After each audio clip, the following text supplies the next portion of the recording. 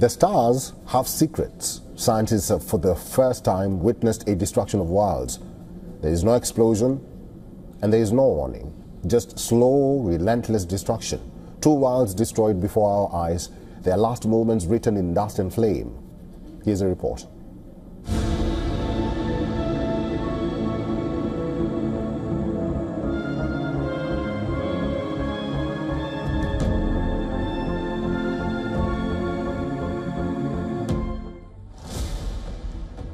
Deep in the void, where the star burns bright, worlds are being ground to dust. For years, astronomers thought they had found a planet, a sapphire-like world dubbed Fomalhaut b. But as the gaze of the Hubble Space Telescope intensified, the truth became far more chilling. The planet didn't just move, it began to vanish. The Hubble Space Telescope has detected vast clouds of dusty debris surrounding two distant stars. Ancient planetary systems, once stable, have been violently disrupted. And the clues are written in dust. Astronomers noticed something wrong almost immediately. These stars were glowing brighter than expected in infrared light. Too bright. That glow, scientists realized, was heat generated by enormous quantities of dust absorbing stellar energy. Dust that should not exist in such abundance unless something catastrophic had happened.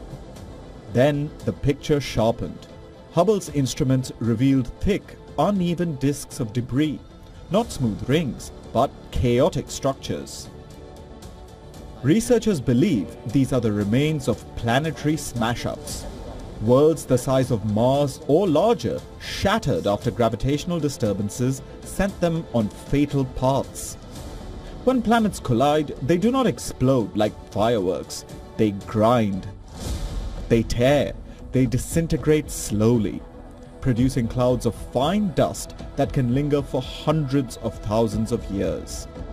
This is not science fiction. This is planetary evolution at its most brutal phase. Our own solar system likely went through similar chaos billions of years ago.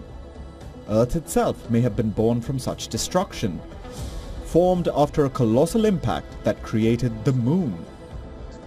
Hubble's images are not just scenes of ruin, they are time machines, snapshots of how solar systems live, break apart and begin again.